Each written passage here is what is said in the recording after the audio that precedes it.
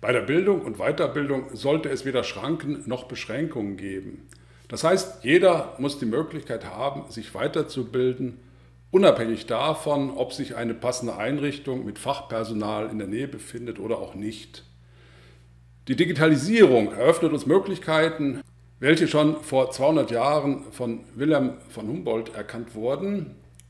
Damals blieb es jedoch dem Bildungsbürgertum vorbehalten, zu dem er ja auch gehörte, um sich an diesem Bildungsideal zu orientieren.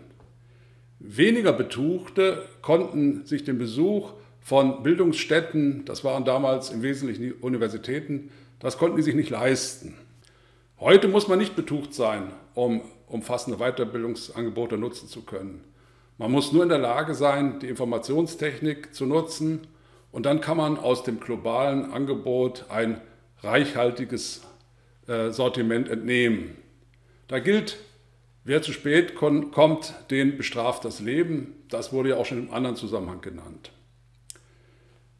In einer Playlist mit fünf Videos und einer zugehörigen Abhandlung im PDF-Format mache ich als erfahrener Ausbilder und Online-Dozent eine Bestandsaufnahme und ein Angebot, für das ich Mitstreiter suche, um zu beweisen, was geht bei der Online-Weiterbildung mit der Technik des Jahres 2021. Dies Video ist das erste von fünf Videos einer Playlist und das dient der Einführung. Im Video 2 geht es um die Lernwelten, die uns umgeben.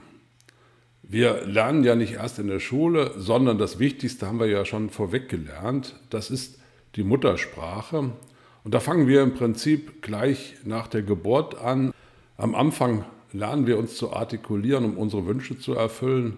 Das geht informell und nebenbei eben durch das Zutun der Eltern, die unseren Hunger stillen oder eben sonstige Bedürfnisse befriedigen. Aber schon nach ein paar Jahren, dann fängt die formale Bildung an, sei es im Kindergarten, der Kindergrippe oder eben später in der Schule. Das wird eben im zweiten Video besprochen. Auch dass das insgesamt, was da als formale Bildung abläuft, eben nur einen kleinen Teil unserer Bildung oder Weiterbildung ausmacht, weil irgendwann im, in den 20er Jahren oder Ende der 20er Jahre haben wir die Ausbildung abgeschlossen, vielleicht mit einem Handelskammerbrief oder Handwerkerbrief oder ein Hochschulstudium. Und nach dieser formalen Ausbildung müssen wir weiterlernen, weil wir permanent fit bleiben müssen in unserem Beruf, um unser Einkommen zu verdienen oder einfach, weil wir Spaß daran haben. Als drittes Video wird besprochen, wie ein Weiterbildungsportal für die schrankenlose Ausbildung sein muss. Wir denken ja immer noch bei Bildung, wie ich es eben ja schon sagte, an die formale Bildung, an Schule, Hochschule oder Berufsschule. Aber was wirklich wichtig ist, ist, dass wir uns permanent fit halten. Und da zeigen eben auch die amerikanischen Milliardäre, dass gerade jenseits von dieser formalen Bildung Wichtiges rechtzeitig getan werden muss.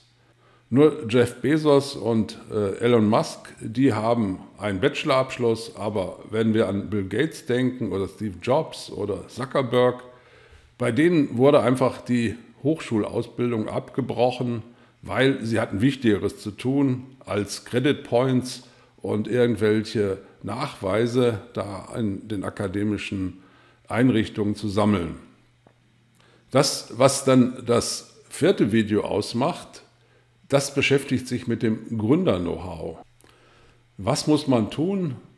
Was muss man beachten, dass man wahrgenommen wird und seine Leistungen verkaufen kann, beziehungsweise an die Frau oder an den Mann bringt und damit man eben auch die rechtlichen Dinge berücksichtigt. Das fünfte und letzte Video, das behandelt eigene Fallbeispiele. Ich selbst habe formale Bildung abgeschlossen mit einem Diplom im Fach Physik an der Uni Göttingen, aber da war ich dann schon 27 Jahre alt und hatte vielleicht die kreativste Zeit damit verbracht, dass ich Scheine und Leistungsnachweise sammeln musste.